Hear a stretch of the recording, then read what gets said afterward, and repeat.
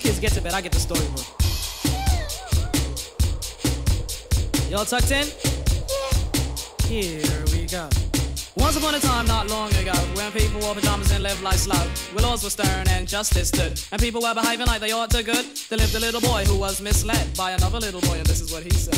Me and you tonight, we're gonna make some cash, robbing old folks and making the dash. They did the job, money came with ease, but one couldn't stop. It's like he had a disease. He robbed another and another, and a sister and a brother.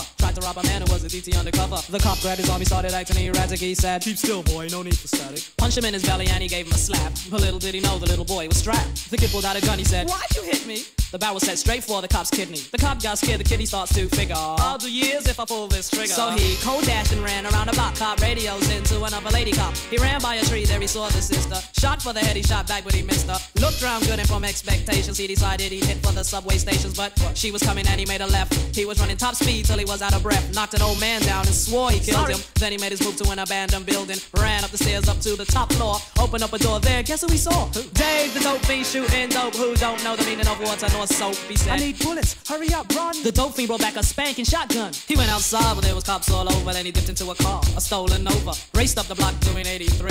Crashed into a tree near University. Escaped alive, though the car was battered. Rat-a-tat-tatted and all the cops scattered. Ran out of bullets and he still had static. Grabbed the pregnant lady and pulled out the automatic. Pointed at her head, he said the gun was full of lead. He told the cops, back off, for honey here's dead. Deep in his heart, he knew he was wrong, so he let the lady go and he starts to run on. Sirens sounded, he seemed astounded, and before long the little boy got surrounded. He dropped his gun, so went the glory, and this is the way I have to end this story. He was only 17 in a madman's dream. The cop shot the kid, I still hear him scream. This ain't funny, so don't you dare laugh. Just another case about the wrong path. Straight and narrow your soldiers cast.